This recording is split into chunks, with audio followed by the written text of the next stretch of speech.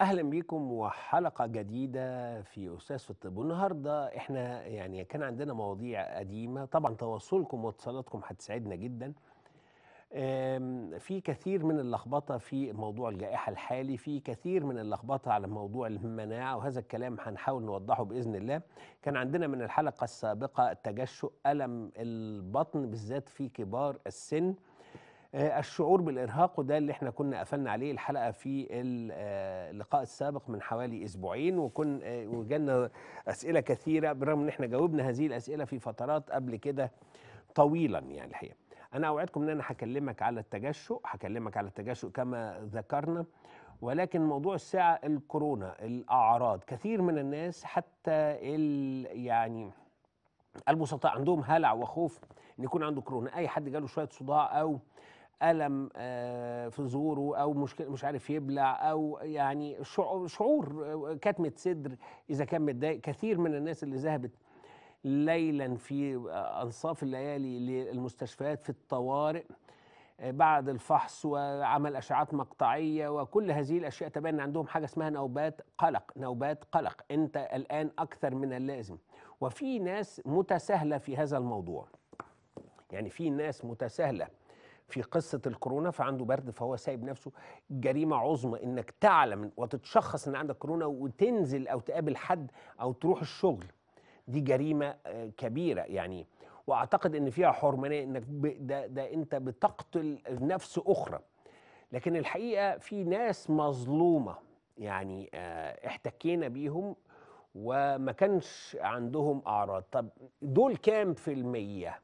يعني قصة أعراض الكورونا أنا هقولها بشكل سريع علشان ما نبقاش في نوع من الإطالة الحقيقة. من 18 ل 40% من أي حد تعرض لفيروس كورونا. إحنا مالناش دعوة بالسلام مالناش دعوة بالمواطنين اللي في ال- ال- الذي لم يتعرض.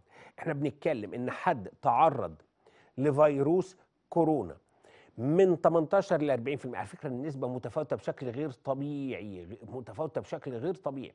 مش هيبان عندهم أعراض نهائيا لن يظهر عندهم أعراض نهائيا.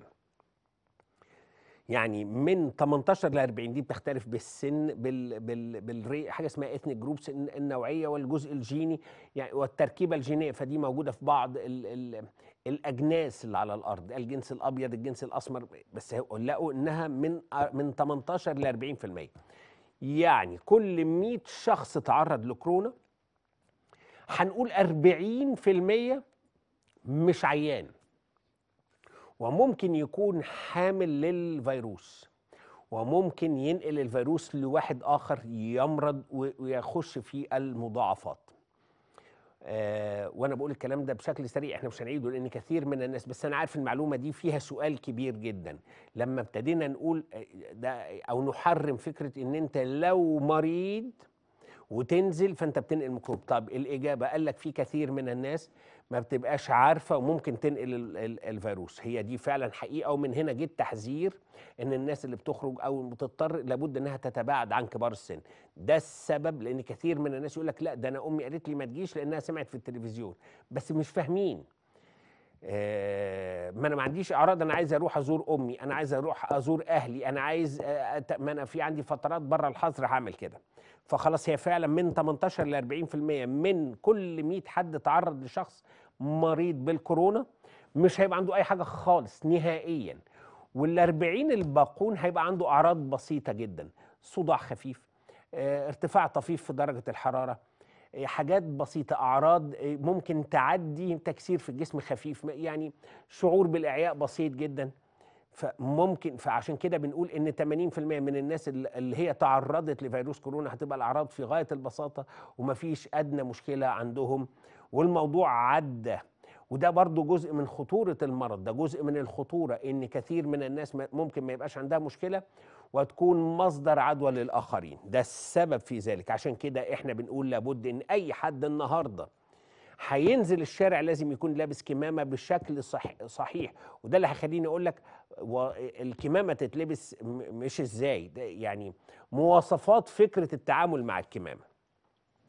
يبقى أول معلومة إن 80% طيب بعيدا بقى ان إن أنا هقول لك المضاعفات بتاعة الكورونا والمشاكل بتاعة الكورونا ومشاكل البرد. ده موضوع آخر تماما.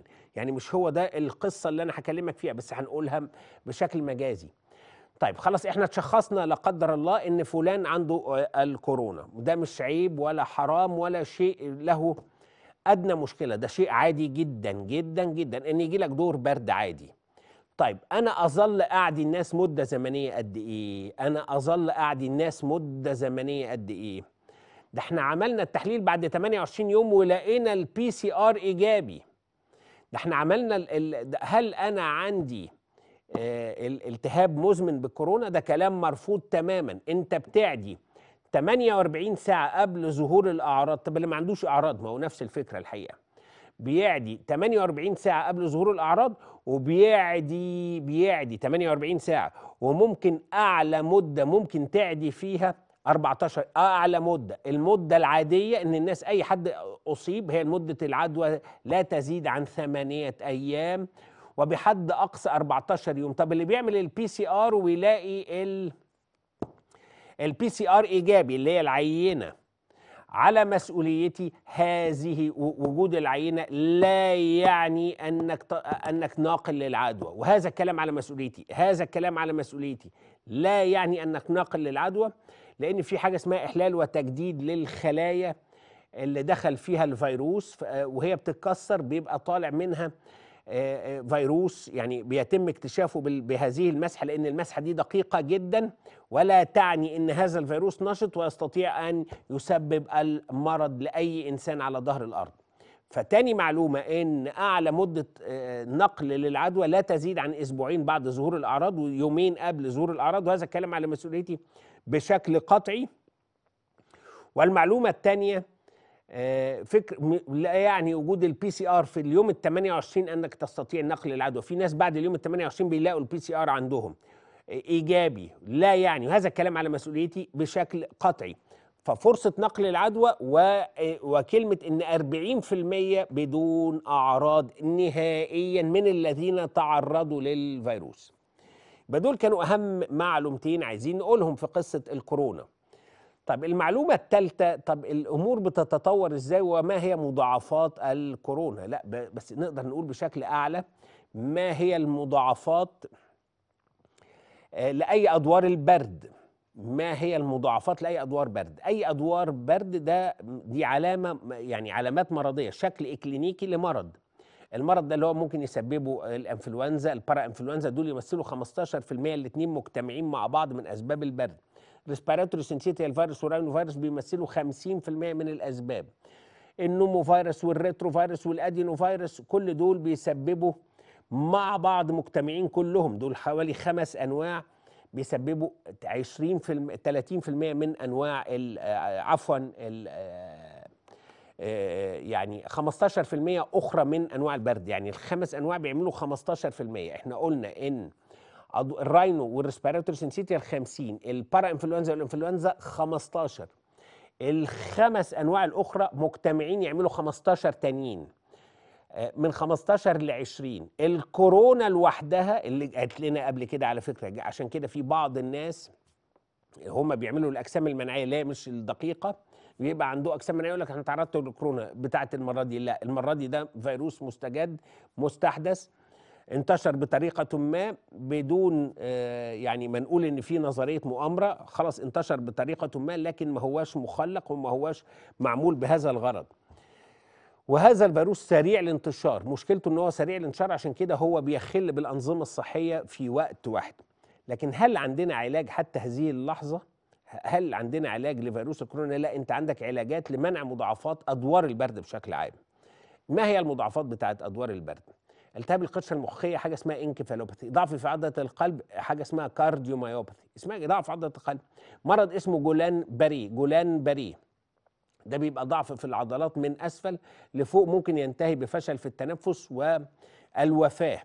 وده حلوله إن بيتعمل له بيتحط على جهاز غسيل بلازما حاجة اسمها plasma exchange أو بياخد كورتيزون. فأنت عندك ثلاث حاجات شهيرة. التهاب قشرة مخية encephalopathy أو التهاب المخ التهاب ضعف في عضلة القلب ومرض جيلان باريه دول لحسن الحظ إن هم في غاية الندرة لكن بيحصلوا على فكرة. يعني كت... وهنلاقي ناس كتير جدا ماتت بعد دور برد. وعلى مر التاريخ اللي هم ال 600 ألف اللي ماتوا السنة اللي فاتت من أدوار البرد وشخصوهم على الإنفلونزا بس. طيب مش ده الموضوع؟ يعني ال ال ال لا إحنا عندنا نوعين بقى اللي إحنا بنخاف منهم التهاب الرئوي ال- الثانوي نتيجة التهاب رئوي بكتيري. آه، ماشي. الالتهاب الرئوي الفيروسي اللي إحنا بنشوفه في الأشعة اللي هو بيعمل لنا آه، خرفشة كده اسمها ground glass opacities اللي إحنا بنقدر نشخص بيها دلوقتي بدون اللجوء إلى المسحة. وال ARDS adult respiratory distress syndrome يعني يحصل تكسير للرئة وكثير من الناس اللي بتنجو من ال ARDS وعادة ما حدش بينجو. ده بيبقى عنده تفتت في الرئة تماما يعني بيعيش طول الوقت على جهاز تنفس صناعي بتبقى مأساة إن الرئة كلها. اذا أنت عندك مضاعفات ال- ال- ال- الالتهاب يعني مضاعفات البرد اللي هي ممكن تيجي مع أي أدوار برد آه، وتكون قاتلة. إحنا ما قلناش بقى التجلطات اللي بتحصل نتيجة حاجة اسمها DIC و micro emboli وتسمم الدم. وده برضو بيحصل في أي أدوار برد. بس الأكثر شيوعا لأن الأرقام كبيرة دلوقتي في العالم فاحنا ابتدينا نسمع معانا اتصال وهنكمل لكم المضاعفات وكيف نتعامل وهل في علاجات حالية وهل علاجات هتظهر. آه، هنجاوب على هذا الكلام. هكلمكم عن المناعة كما اتفقنا لأن إحنا جاوبناها قبل كده بس ما كناش اتكلمنا عن الكورونا بهذا الشكل. وأنا مسؤول عن كل كلمة قلتها وهذه هي الكورونا فقط. آه آه إحنا معانا اتصال. السلام عليكم يا دكتور. عليكم السلام ورحمة الله. ممكن سؤال لحضرتك والله؟ خمس أسئلة تحت أمرك يا هانم. الله يخلي حضرتك بارك الله في حضرتك. الله يكرمك ويبارك. كان حصل لي آه، حصل لي آه، ال- الأنف آه طبعا. بحس كأني بشم النشادر عفوا. آه، الأنف الأنف كنت بحس إنه في الجيوب الأنفية كأني في نشادر نسعه كده بتيجي في أنفي وبتضرب في مخي كده بحسها. تمام. وبعديها على طول اخذت يومين بالطريقة دي وبعديها على طول حسيت بسيولة في الأنف. لمدة يومين.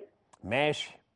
بعد كده حسيت إني آه، فقدت الدور البرد سيلان في الانف تمنع خالص. بعد كده فقدت حاسة الشم لمدة لوكيت 10 أيام. ابتدت تجيني تدريجيا. أخذت. شوية علاج زنك ومضاد حيوي و- والدور البرد أخذت علاج وابتدى الشم حاسه الشم ترجع لي. مم. أه بشم احسن من الأول. لكن في الأول كنت خالص خالص ما شمش أي حاجة يعني. تمام. فالموضوع ده ليه علاقة بالفيروس ولا هو دور برد عادي؟ أي أدوار البرد في الدنيا آه آه. ممكن تعمل أي دور برد أي دور فيروسي كلهم بيتشابهوا في العرض. آم، ذكرنا فكرة ال ال ال آه، خلل حاسة الشم والتذوق. مع كل الالتهابات الفيروسية. إيه، خلاص إذا افترضنا إنها مع كورونا آه ممكن تبقى موجودة مع كورونا لكن مش هي من علامات الكورونا الرسمية. لا نستطيع نقول إن فقدان حاسة التذوق وحاسة الشم مرتبطين بالكورونا لوحدها. عندنا ثمان أسباب تؤدي إلى هذا الكلام. طب والنشعة في النشعة كده بتجيني في في أنفي نشعة كده بتضرب في, مخي. مش عارفة إيه سببها دي أنا أول مرة يعني أحس بيها أشهر يعني. حاجة كل على مسؤوليتي رقم واحد رقم واحد في فقدان حاسة الشم التهاب الجيوب الأنفية الفيروسي ايا كان سببه. ايا كان أيوة. سببه. والتهاب الجيوب الأنفية المزمن ايا كان سببه. أيوة. آه، فده يعني إن والكبار السن الألزهايمر ده تاني أهم سبب. تخيلي رقم واحد فأنت بتتكلمي على أي التهاب فيروسي يعمل هذا الكلام.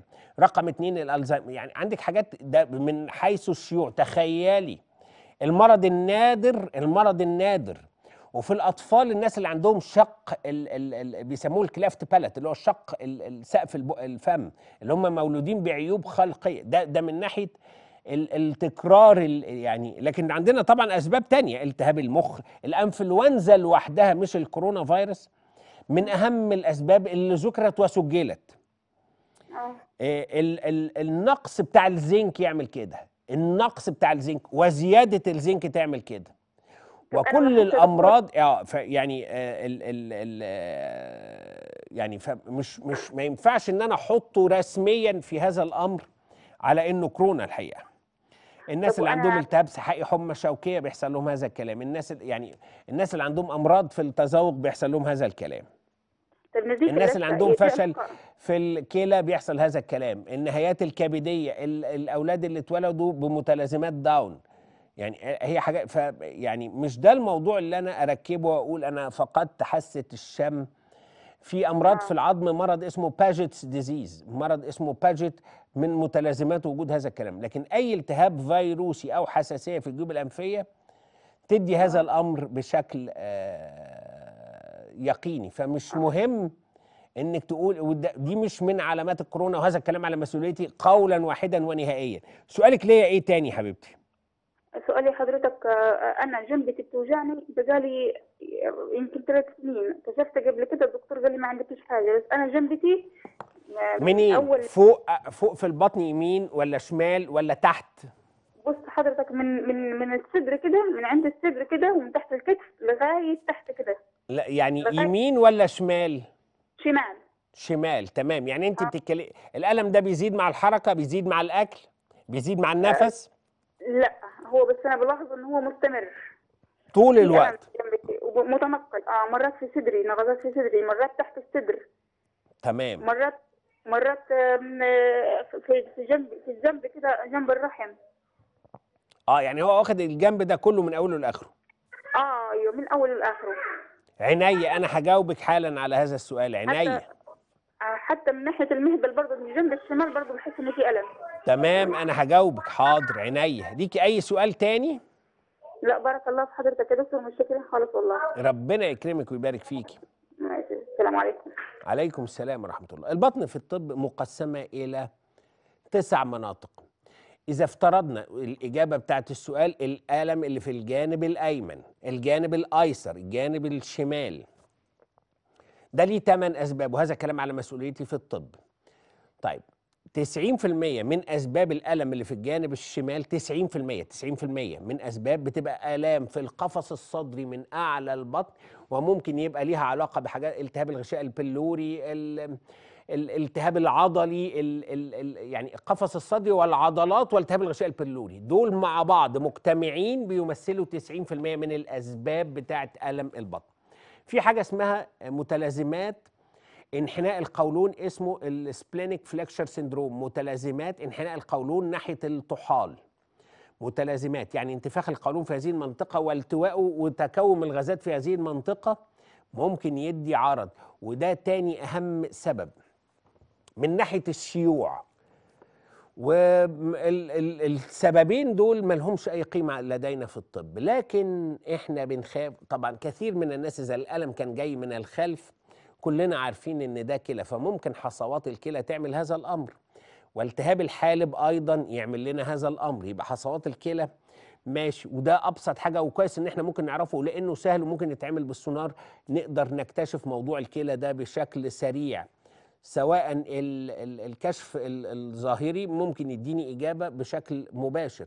فإحنا قلنا التهاب القولون في هذه المنطقة متلازمات ال splenic flexure طب هل يا دكتور في آه، في أسباب آه تاني؟ ده أنا قايل لك ثلاثة بس. المعدة تعمل كده الطحال يعمل كده المعدة والطحال في عضلة اسمها عضلة ال psoas muscle تعمل كده هناخد ياسر وهجاوبك والمرض بتاع فوزي retroperitoneal fibrosis أهلا وسهلا يا ياسر. إزيك يا دكتور؟ ربنا يكرمك ويبارك فيك. بقول لك يا دكتور لو سمحت. اتفضل. أختي عندي أختي ب... ولا مؤاخذة بيجي لها مغص في بطنها وبتشو... ب... ب... بت... بت... بت... بتعمل حمام دم من ورا كتل كده. آه. وعندها مغص تملي باستمرار. آه، عملت عمليات قبل كده؟ لا ما عملتش عمليه بتاخد أي دواء. لأي مرض مزمن؟ ضغط سكر أي مرض مزمن؟ لا يا دكتور. عندنا حساسية صدر حساسية من أي دواء؟ لا. دم أو مخاط من أي مخرج من مخارج الجسم غير فتحة الشرج؟ لا من فتحة الشرج بس. تمام. بتخس؟ تنزل في الوزن؟ لا ما بتنزلش. العمر كام سنة يا حبيبي؟ 45 صغيرة. 45 ده شكلك كده ياسر بتكلمنا من بورسعيد. من دمياط يا دكتور. من دمياط ده أجمل ناس. الله يبارك لك ربنا يبارك. فيك يا رب. أنا هجاوبك حالا على يا دكتور لو سمحت. اتفضل. أنا لو سمحت أنا اللي كنت كلمتك قبل كده بخصوص الرعشة اللي في جسمي. وعندي وجع في العمود الفقري تزهيقة في العمود الفقري من عندي بزازي على الطالع كده. تزهيقة جامدة ومانيش عارف أقف وخدلان في رجلي. طب خلاص ما دام عندك الرعشة نكشف مخ وأعصاب. لكن أختك لازم تعمل منظار قولون وأنا هقول لك أسباب الدم من فتحة الشرج. أسباب الدم من فتحة الشرج هجاوبك عليها حالا لكن أنت لازم تكشف مخ وأعصاب يا حبيبي. معانا أماني؟ أهلا يا أماني. وطي التلفزيون يا أماني بعد إذنك.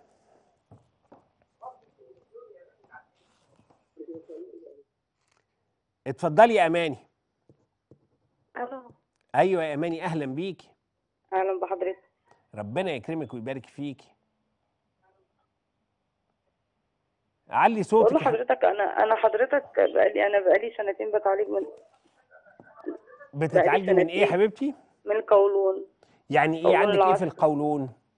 أنا قولوني عصبي بس يعني في دم مخاط إمساك إسهال ترجيع لا مغص في البطن. أي حاجة الحمد لله. بس امبارح والنهاردة مش قادرة آخد نفسي أعمل لي زي دقيقه تنفس كده. دي مش تنفس يا أماني. بتحسي بكتمه صدر دقات زيادة اختناق؟ لا لا لا حضرتك لا. أنا باخد لبراكس وباخد أنتودين. لما باخدهم برتاح شوية بس النهارده على الدكتور اتصلت بالدكتور اللي أنا بتعالج معاه. طبعا حضرتك أنت عارف الظروف اللي إحنا فيها. فقال لي علي محلول مع حقنة كونترلوك مع سيسترالجين هديت شوية الحمد لله. طب سؤالك ليا إيه يا أماني حبيبتي؟ سؤال لحضرتك دلوقتي أنا برضو تعبانة زي ما أنا. حاسة بمرارة طالعة من معدتي كده ومن صدري. طيب إحنا عملنا عمليات قبل كده يا أماني؟ لا لا لا. بناخد أي دواء لأي مرض مزمن ضغط سكر أو أي لا. دواء؟ لا بناخد لا. فيتامينات مكملات غذائية أي حاجة من هذا القبيل؟ أنا كنت باخد فيتامين سي يعني الفترة اللي فاتت دي بس سبت في دم أو مخاط من أي مخرج من مخارج لا، لا الجسم خالص، تغير في الوزن؟ خالص في لا، حموضة أو. حرقان حموضة؟ آه. يعني طول الوقت في حموضة. في لا إمساك أو إسهال. أنا بقالي كام يوم دول لا الحمد لله. آه في مغص في البطن ألم؟ بسيط آه. ميول للترجيع. ميول للقيء؟ نعم. ميول لا للقيء لا أنا امال يعني إيه عندك قولون عصبي يا أماني؟ إيه. السبب؟ آه وأنا الخوف بتاع الموضوع اللي ماشي ده قلقني جدا. تمام. فيعني إيه قولون عصبي من وجهة نظرك؟ مش عارفة والله يا دكتور. أنا النهارده كنت روحي بتطلع فعلا منه. يعني حاسة ان آه بتتخنقي ودقات زيادة آه. واختناق. آه طب ده ملوش علاقة بالقولون العصبي أماني وده كلام نهائي. ده اسمه نوبات قلق panic attacks اللي انت بتصفيه ده اسمه panic attacks لا علاقة له بالقولون العصبي، القولون العصبي ليه خمسة criteria تغير في عادات وقوام التبرز. ما لهمش دعوة ولا بالعصبية ولا بالزعل. الزعل بيعمل. أربع حاجات في الطب. ما لهمش قولون عصبي، ما فيهوش حاجة اسمها قولون عصبي. يعني تغير عادات وقوام التبرز، ألم في البطن بيستريح بسيط مع دخول الحمام، دخول الحمام بي بيشعر وهو خارج من الحمام إن هو ما فضاش بطنه كويس. يبقى آه، تغير في عادات وق... ده أهم. ثلاث ده أهم ثلاث criteria في criteria منهم انه أحيانا في بعض الناس بيبقى معاهم مخاط بس ما بنحبش نذكر ده لأن كلمة دم أو مخاط ده ليها علامات أخرى. ولازم نكون عملنا منظار قولون عشان نستبعد كل الأمراض الأخرى. فما فيش حاجة اسمها يعني تشخيص قولون عصبي. التنفس اللي عندي ده عملت جلسة الصبح برضو حضرتك؟ عفوا؟ عملت جلسة عملت جلسة تنفس جلسة. تنفس دي نوبات هلع. آه. اللي أنا ب- باكد لك الكلام ده يا أماني. التشخيص بتاعك على مسؤوليتي على مسؤوليتي ده اسمه نوبات قلق وهلع. ده بيعالجها الطب النفسي وليس أي حاجة تانية. سلامتك يا أماني وربنا يحميك وده ملوش علاقة بالقولون العصبي نهائيا. ال criteria بتاعت القولون العصبي واضحة وده ما فيش فيها حاجة من هذا القبيل. أما لو أنا قلقت وجالي ألم في بطني ده ما اسموش قولون عصبي. ده ده ده حاجة ده حاجة من أنواع ال- الأمراض العصبية الأخرى somatoform pain disorder ده حاجة تانية. معانا حزن يسبب لنا أربع حاجات وهكلمكم على الحزن بيعمل إيه في الطب. يا هدى أهلا بيكي. اتفضلي يا هدى. أنا مش سامع. هدى حاولي ترجعي لنا تاني يا هدى. معانا اتصال. اتفضل. السلام عليكم. عليكم السلام ورحمة الله. ازي حضرتك يا دكتور؟ يا أهلا بحضرتك. ممكن توطي التلفزيون وتسمعنا من التليفون بس؟ طيب تحت أمرك يا دكتور. الله يكرمك ويبارك فيك. الله يخليك يا دكتور. أنا المدام عندي حامل دلوقتي حضرتك في الشهر التاسع وبدأ تظهر عليها يعني الأول احتقان في الزور آه، وبعد كده تكسير في الجسم وبقالها 3 4 أيام دلوقتي آه، حاسة الشم آه، ما ما بتشم يعني في الأكل برضو تذوق مفيش آه، حاسة الشم مفيش فقلت أكلم حضرتك كده تطمني إيه الأخبار يعني؟ عندنا كحة عندنا بلغم. لا مفيش ولا كحة ولا بلغم. كما اتفقنا وكما حتى لو افترضنا انها آه، نوبة كورونا عشان إحنا بس إحنا قلنا إن حاسه شم الناس في مصر ربطتها فقط بكورونا لكن هي على مسؤوليتي. بتيجي مع الانفلونزا بتيجي مع الألزهايمر بتيجي في مرض اسمه باجت بتيجي في حاجات كتير جدا بتيجي في الناس اللي عندها ال- الحلق بتيجي في كل أنواع الفيروسية بتيجي في الناس اللي عندهم باركنسون يعني عندنا حاجات كتير جدا تسبب بتيجي في الحاجات الناس اللي عندهم نقص في الزنك أو خدوا زيادة في الفيتامينات بالذات الزنك نفسه. فاحنا عندنا أسباب يعني لخلل حاسة الشم. آه، التهاب آه، إن إحنا نكون شمينا مادة نفاذة شاربي الكحول عندنا أسباب كتير جدا بس ما ينفعش إن أنا أركبها على الكورونا ولكن يعني الإعلام في أماكن كثيرة أو في النت أو في الحاجات دي خلاص تركبت ده مع ده. افترضنا إنها كورونا مجازا وده مش حقيقي. دام ما عندناش أعراض 80% من البشر الحجر المنزلي بدون أي علاج بدون أي علاج نهائي. الحمل في الشهر التاسع معظم يعني طبعا إحنا مريض مريضة السكر وهي حامل لو كانت بتاخد إنسولين لو بتاخد أدوية أقراص ما بتبقى ماشية على إنسولين. لو فيروس بي فإحنا بنعمل الفحوصات ما قبل الولادة بنطمن على وظائف الكبد بنطمن إن مفيش تسمم حمل بنطمن إن حالة الجنين كويسة. يعني بنتابع بشكل لو سخنا عندنا تمام. عائلة بعينها عائلتين بس يتاخد ليهم مضاد حيوي لو عندنا التهاب بنراقب مع الولادة الصديد في البول بنراقب إذا كان في التهابات نسوية لأن في التهابات ممكن تيجي للجنين بنطمن إن الأم وهي داخلة الحمل ما فيش سكر ما فيش آه، السكر طبعا بيتعمل في اليوم ال 28 بنطمن إن لا، الحمد فيروسات منها. ال cytomegalovirus ف ما أقدرش أقول لك اي حد ممكن يجي له التهاب فيروسي نتعامل على انها دوره برد الا اذا كانت الأمور بتتفاقم. حتى يومنا هذا ما عندناش علاج لفيروس كورونا. إحنا عندنا علاج لمنع المضاعفات ومتابعة الفيروسات. عندنا علاج لمتابعة ال- الفيروسات. عندنا علاج لمضاعفات ال- ال- الالتهابات. اللي هي ضعف عضلة القلب وخلافه. فاحنا هنروح نتابع مع الدكتور بتاع النساء بتاعنا. وهنروح لدكتور باطني للمتابعة وليس للفحص بتاع كورونا. إذا الأمور تفاقمت عن كده ده بيبقى موضوع تاني خالص. معانا سامح؟ السلام عليكم. عليكم السلام ورحمة الله. يا أهلا يا دك... أهلا يا سامح. إزيك يا دكتور؟ ربنا يكرمك ويبارك فيك. ربنا يخليك يا دكتور. والله الله منور يا يكرمك يا سامح. الله يكرمك يا حبيبي. حضرتك يا دكتور بعد اذنك آه، في في رعشة كده والواحد أعصابه مش مظبوطة. بمعنى يعني رعشة أعصاب مش مظبوطة يعني إيه يا سامح؟ الواحد مت... م... ال- الواحد عندك حرارة عندك و... آه عندك كام سنة يا سامح؟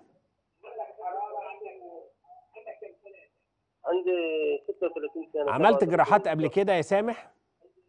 لا ما عملتش حاجة خالص. بتاخد أي دواء لأي مرض مزمن؟ ضغط سكر أي مرض مزمن؟ لا. عندنا حساسية صدر حساسية من أي دواء؟ لا يا دكتور ما فيش أي حاجة من في حرارة صداع زغللة عين كتمة صدر دقات زيادة اختناق مغص في البطن؟ لا يا دكتور والله ما يعني أنت بتعاني من رعشة بس هو خوف ك... آه خوف شعور بالموت. يعني الشكوى إيه يا سامح؟ نعم يا دكتور. الشكوى إيه؟ يعني كلمة رعشة دي مش حاجة. يعني أنت إيدك بترجف مثلا؟ آه آه إيدي إيدي بترعش يعني ما بتعرفش تمسك كوباية الحاجة بتقع آه، منك آه. مثلا؟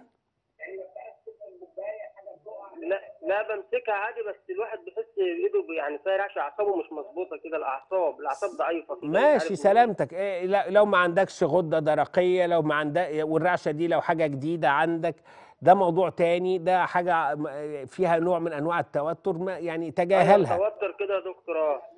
خ- يعني نتج... يعني نحاول نقلل الكلام ده نحاول نقلل التدخين نحاول نقلل القهوة نحاول نعمل الفحوصات اللي هي الخاصة بالحاجات اللي فيها رعشة.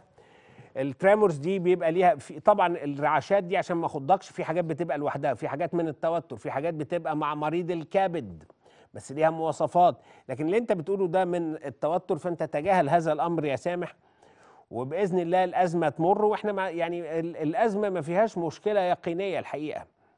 يعني أنا مش عايز حد يخاف ال- الموضوع في غاية البساطة بإذن الله. يعني الموضوع بسيط إحنا آه ناخده بجدية لكن هنتعايش مع هذا الأمر لحد ما يظهر العلاجات آه، وهيظهر اللقاحات وهيبقى يعني موضوع منسيا منسيا. يمكن هذه الأزمة علمتنا إزاي نحافظ على نفسنا علمتنا بعض العادات الصحية الجديدة أو اللي إحنا عارفينها بس ما كناش بنمارسها طبيا. لكن أنا عايز أطمن الناس حقيقي ما فيش هيبقى هذا هذه الجائحة هتبقى نسيا منسيا. سننساها هذا الكلام على مسؤوليتي.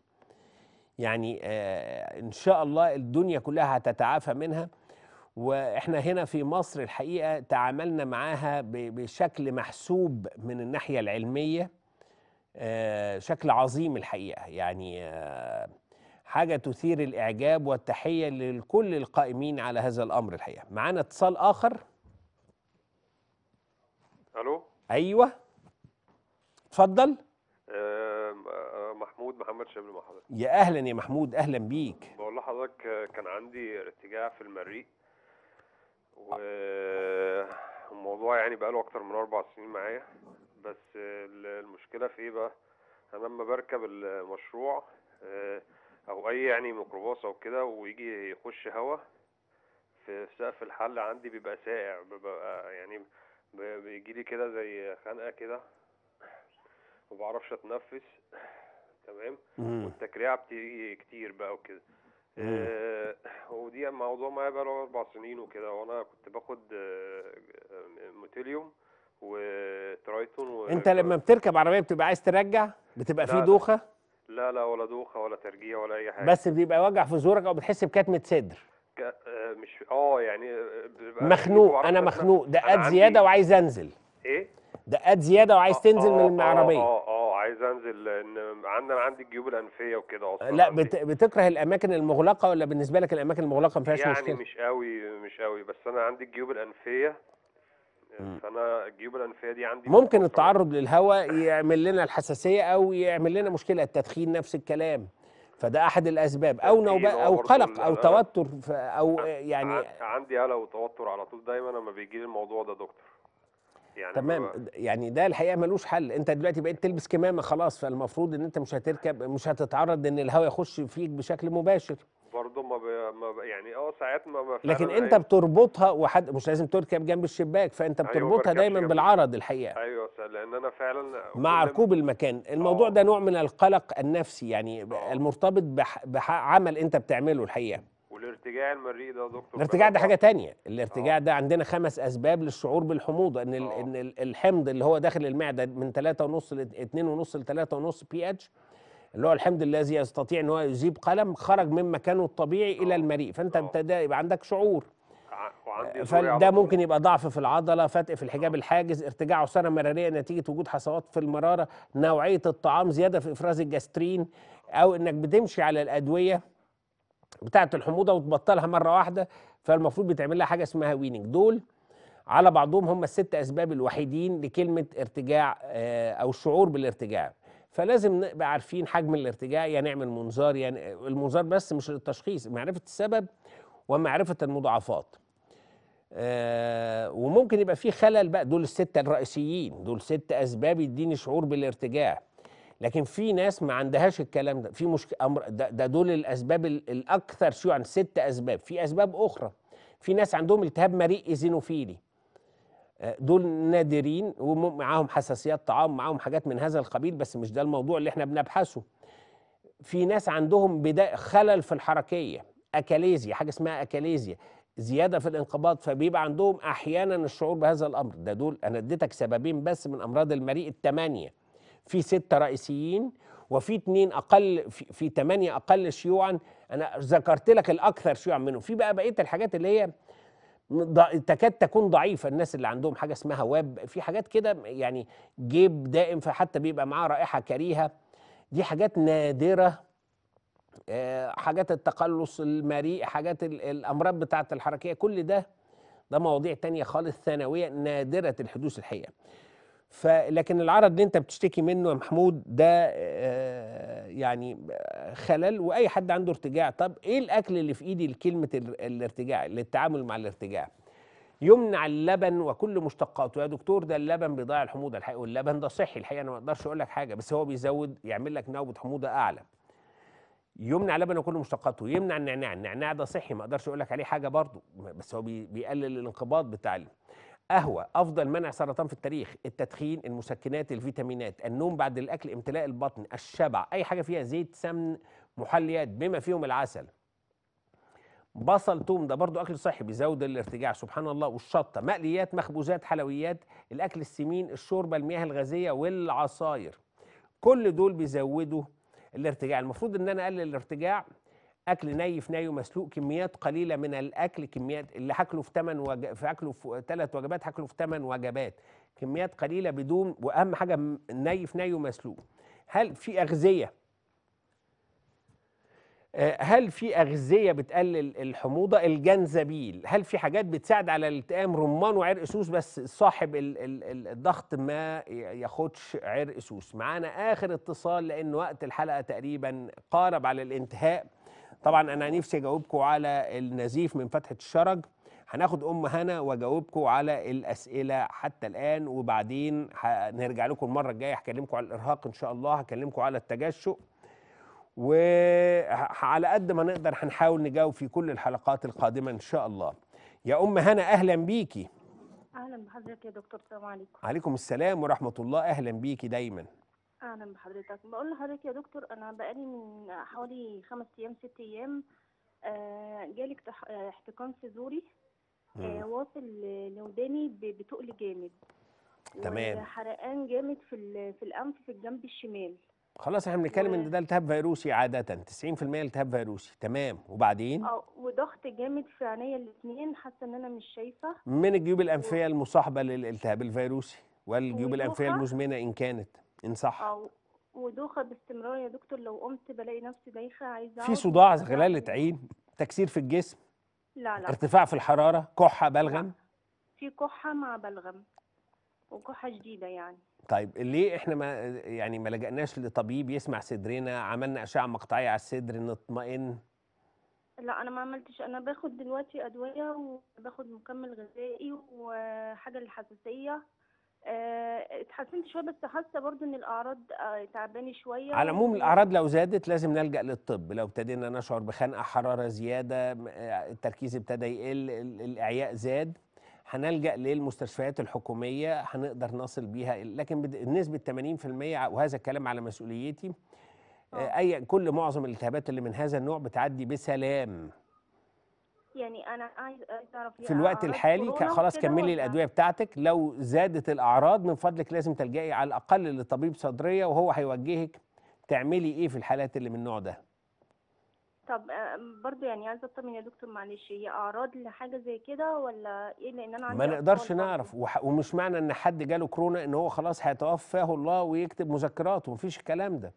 آه، يعني آه، إحنا بنتكلم إنها دور برد عادي بس طبعا ما تنزليش من البيت عشان وضع الجائحة الحالي. لو هتتعاملي مع حد تبقي يا ريت تبقي عازلة نفسك على الأقل واخدة كل الاحتياطات الاحترازية اللي إحنا بنتكلم عليها.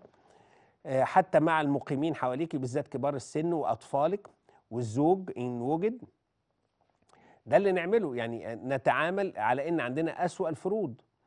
الأمور بتزداد سوءا خاصة بينا هنروح نكشف عند طبيب أمراض صدرية ونتفحص. أما فكرة الخوف والهلع واستباق الأحداث وعدم التيقن والرمي بالباطل في مثل هذه الأمور ده الحقيقة مرفوض تماما. هنتعامل مع كل حاجة على قد قدرها الحقيقة. طبعا أنا عارف إن وقت البرنامج آه، يعني انتهى. وكان نفسي أجاوب على النزيف من فتحة الشرج بس أي حد يعني المعلومة اللي قبل ما نقول الأسباب سريعا لازم نعمل منظار قولون وأشعة على الأقل سونار. الاستبعاد التقرح القولوني مرض اسمه كرونز الزوايد القولونية الجيوب القولونية الجيوب القولونية في حاجة اسمها جيوب قولونية الأورام. يعني إحنا عندنا أسباب كتير البواسير الشرخ. أنا قلت لك سبع أسباب من 13 سبب. بس مفيش حاجة اسمها نزيف من فتحة الشرج بدون في حاجة اسمها وحمات آه، تكتلات دموية بكافة أنواعها. أمراض السيولة يعني دي الأسباب. فما فيش مش مهم أنا قلت لك الأسباب بتاعت النزيف من فتحة الشرج. نختار اني سبب فيهم؟ مش هيبان إلا بمنظار مش هيبان إلا بفحص يقيني. آه، طبعا آه، أشكركم والمرة الجاية هكلمكم على الإرهاق التجشؤ اللي أنا كنت عايز أكلمكم عليه. المناعة ده سؤال متكرر هكلمكم عليه المرة الجاية. هنكمل بعض الحاجات وإن شاء الله يكون في بشرة جميلة وأكلمكم على الأدوية اللي طلعت كمضاد للفيروس. حتى يومنا هذا ما عندناش أدوية مضادة للفيروس لكن عندنا بروتوكولات للتعامل مع والحد من تطور الحالة. أشكركم وألقاكم في حلقة قادمة سريعا إن شاء الله.